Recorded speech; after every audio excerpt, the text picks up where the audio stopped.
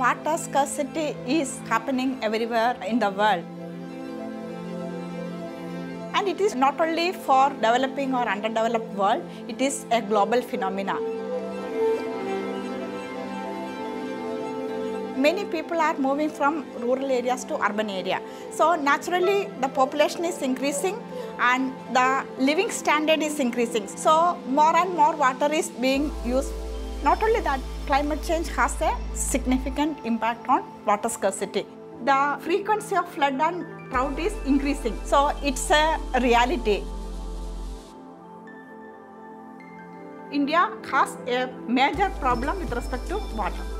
Ours is a consumer society, so we have to generate more and more goods. So when the industrial activities are increasing, naturally the water consumption will be increasing. And another thing is, lot of water resources are getting polluted because the waste generated is not getting treated properly. So the water resources are getting polluted. Once it is polluted, we will not be able to use it.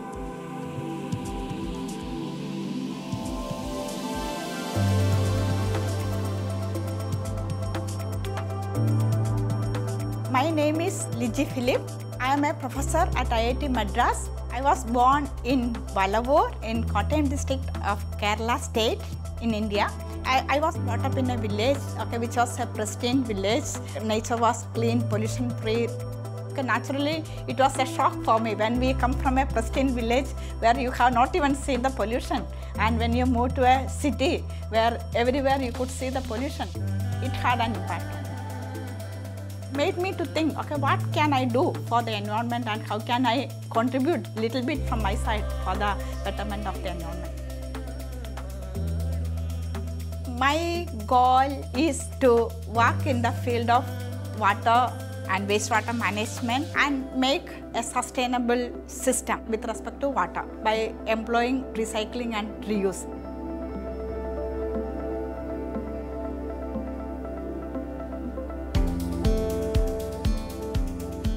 Name is Atsushi Kobayashi. My role is the management of Toray India Water Research Center.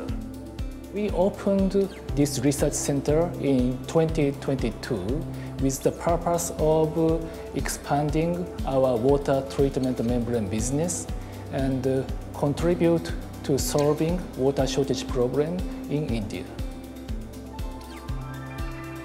We'll be able to show our membranes excellent performance through this study and encourage our customers to use our products. Also, we can provide better proposals to our customers through detailed on-site investigation by our R&D team.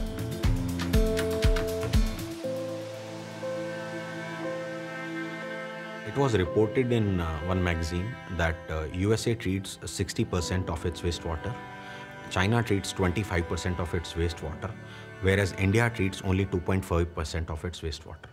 So this must change and we have to come up to the level of at least 20% in next 10 years. My name is Bharat Dharamwani and I look after Toray's water business in South Asia region which comprises of countries like India, Pakistan, Bangladesh, Nepal and Maldives.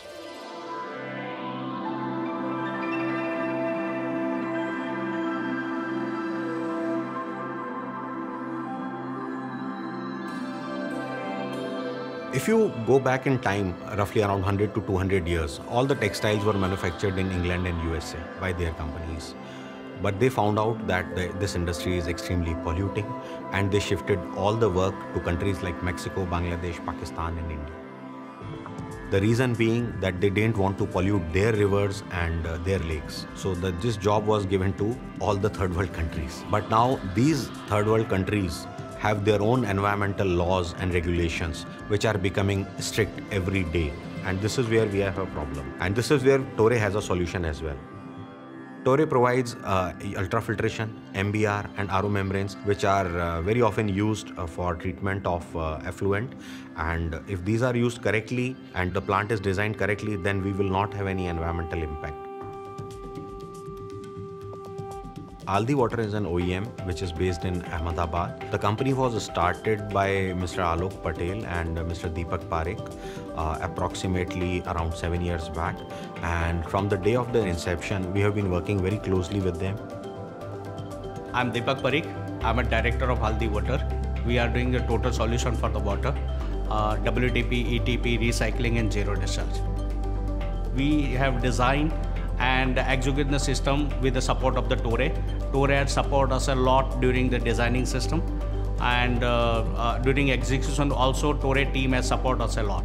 Now India NGT is one of the institute from the central government and every state there is a pollution control board.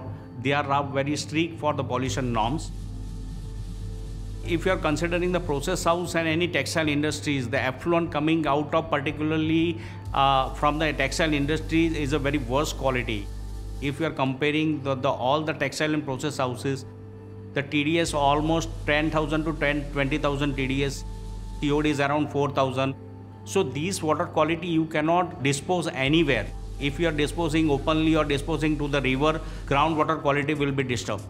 We have a here 12 MLD installation right now here for the ETP recycling system. The total plan we have jointly worked with Detox and 12 MLD UF followed by RO system supplied by us. Up to 3 pass RO and up to 90% recovery we are giving to the total systems. So we are feeding the total 12 MLD water. We are taking the 90% recovery and product water less than 500 TDS of water we are giving back for the uh, reuse for the total industries we have supplied 12 mld of ultrafiltration system uh, uf of the 90 meter square area and uh, uh, first pass ro we have used seawater membrane. First uh, we have supplied two skid of ro system. We have installed the nano filtration. First we are taking to the equalization tank. Equalization tank water we are feeding to the DAF DAF we are reducing the tss load. They have an existing sbr then we are passing to the aeration system. Product water we are taking into the secondary clarifier so clarifier outlet water we are feeding to the multigrade filter. They have a multigrade filter and activator carbon filter. Product of multigrade and activator carbon filter. So RO effluent, particularly when you are getting 80 to 90 percent uh, recovery from ETP recycling system, this water we are giving back for the utility requirement, their boiler feed water or some other purpose. I'm extremely proud of my company because the products that we supply, for example, RO membranes, which are used for providing clean drinking water, whether it is a rural area or whether it is a big industrial unit, we provide RO membranes and they are used to providing clean water. Toray keeps on innovating and inventing new products uh, which can uh, help reduce our carbon footprint and provide uh, good solutions to people.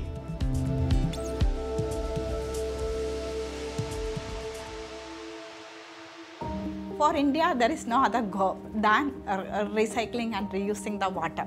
Reduce, recycle, reuse, that is the three R. If you want to make the planet sustainable and if you want to achieve the sustainability goals of UN, we have to practice 3R and we are responsible for the next generation. We cannot eat up everything and leave them without anything. So we have to preserve the resources for them.